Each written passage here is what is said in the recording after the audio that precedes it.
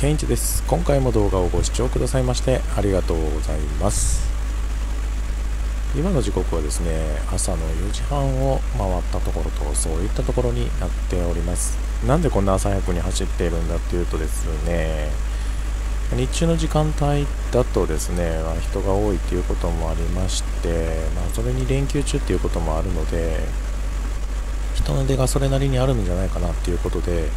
昼間にお出かけするのがちょっとねなんか抵抗があったので朝早く出てですね早朝のですね朝日でも見に行こうかなと思ってスロープに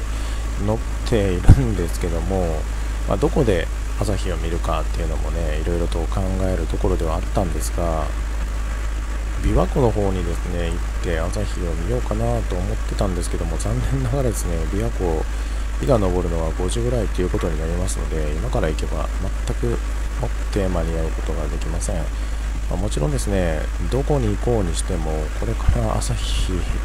昇るところを見ようかなと思ったら、まあ、出る時間がちょっと遅すぎてですね、まあ、どうしようもないんですよね、まあ、なので走りながらですね夜が明けていくっていう感じでも味わおうかなっていう感じで朝早くにですねスルクでドライブに行っております。まあ、行くところもですねどこに行こうかなと迷いながら走っているんですけどもとりあえずですね京都の亀岡の方に向けてみてですねそこからどっちに行くかっていうのを考えてみようと思います。少しずつ日が昇ってきていますね、まあ、この辺りでもですね日の出が朝5時ぐらいということにもなりますのでまもなく夜が明けるということにもなるんですけどもこの時間帯はですね本当に人がいなくていいですね。人がいないというか車がいなくていいですね。のんびりとですね自分のペースでドライブを楽しむことができます。最近は暑いのでですねもう日中は30度を超えてしまってですねオープンにする気もならないぐらい暑いっていう感じになるんですけどもこの早朝の時間帯だとですねまだ気温の方は22度23度ぐらいですねだったのでもう全然涼しいんですよね。もう屋根を開けて走っていたらもう超気持ちいいんですよ。夏場のですねオープンドライブはやっぱり早朝か夜中だなとすごく実感しました。まあ、夜中だとですね暗すぎて景色が見えないのでこの早朝はですねだんだんと明るくなっていろんなものが見えてきますので早朝ドライブ本当に気持ちよくておすすめですね、まあ、僕もこの時間に走るのってまあそうそうないんですけどもこの時間に走ってみてですねそれをすごく実感しております。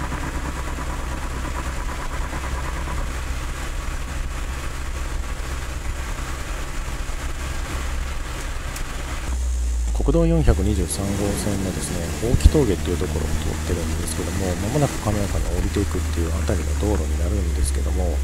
この辺りの道がですね最近きれいに整備されましてカーブがですねかなり減って走りやすい道ということになりました。もう本当綺麗な道なのでこれ最近できたっていうのが分かってもらえると思うんですけども。本当にくねくねした道がですねまっすぐになって走りやすくなりました。まだでもちょっとの区間なのでもうここあたらもうここからはですね普通の区間に戻るんですけどもね。でもこれもどんどんと工事が進んできて走りやすくなってきたらですねまたこの亀岡へのですねアプローチがすごく良くなるんじゃないかなということを実感しますね。ものすごく景色が綺麗です。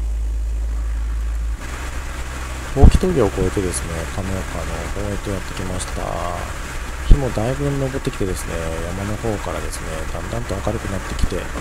朝焼けといった感じのですね景色が広がっています。まだまだこの時間でもですね交通量は少ないので快適に走ることができております。どこに行こうかなと思ってたんですけども早朝で人の少ない時間帯ということもありますのでせっかくなのでですね京都の方に向けてみようと思います。この右手の方に行くとですね京都縦貫道を乗ることができるんですけども京都縦貫道には乗らずですね昔々ですね抜け道として使っていたですね道があるんですけどもその道をちょっと久しぶりにですね走ってみることにしました。ちょうど京都縦貫道のですね側道っていうことになるんですけども道幅は狭いんですが国道9号線がですね混んでいる時にはですね本当にありがたい重宝する道っていうことになりました。この道をですねずっと裏道を進んでいくとですね追いの坂峠の手前ぐらいまで出ることができるんですね。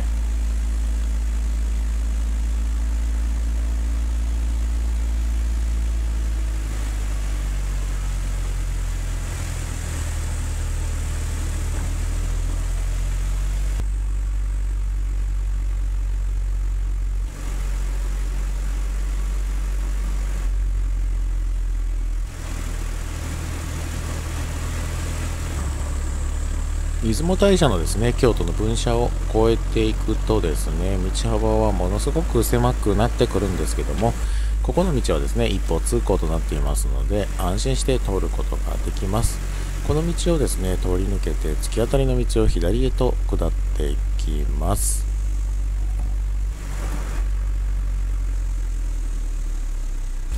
そしてですねそのまま進んでいくと住宅街の方に出ましてですねこの道左手の方に行くと国道9号線の方に出るんですけどもさらにですね国道9号線を走らずにこの道は京都府道6号線なんですけども右手の方へと曲がってきます。この道をまっすぐ行くとですね大阪のですね高槻方面へと抜けることができます。でその手前の道ですね。これを左に曲がっていくとですね9号線と並行して走る道路っていうことになりますので9号線が混んでいる時などはですねこの道を通るとですね追いの坂峠付近までですね出ることができます。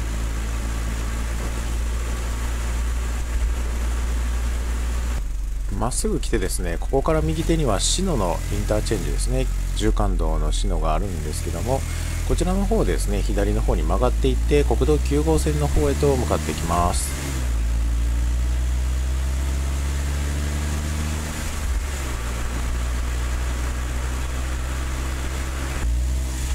この交差点を右折しまして国道9号線へと入っていきます。ここからはですねひたすら京都に向かって走っていくっていうだけになりますね。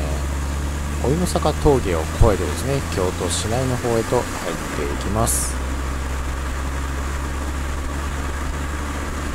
昔はよくですねこの辺りのラーメン屋さんまで食べに来てたんですけども残念ながらですねお店が王将へと変わってしまっていました。まあ、何のラーメン屋さんだったのかっていうのは覚えていないんですけどもねこのラーメン屋さんあったと思うんですけど20年前にはよく走っていたんですけどもその時のお店とかはやっぱり変わっているのかなっていう感じがします。アルバのゴルフクラブを抜けてですね昔よくここ打ちっぱなしなんですけどよく来てましたけどもここを越えてですね追いの坂峠の方へと入っていきます。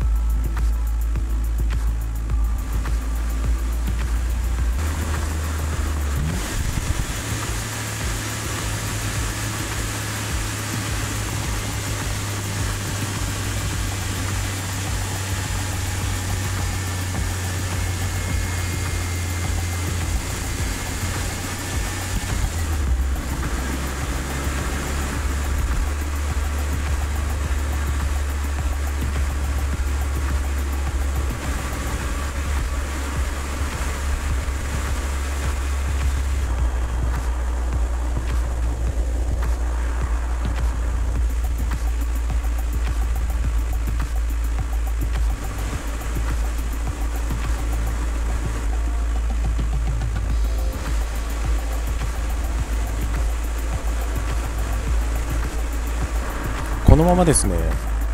朝日を浴びながら国道9号線を走っていってですね京都市内の中心部の方へ向かっていこうと思っているんですがこの続きをですね次の動画にしたいと思います。それでは今回の動画はここまでにします。ご視聴ありがとうございました。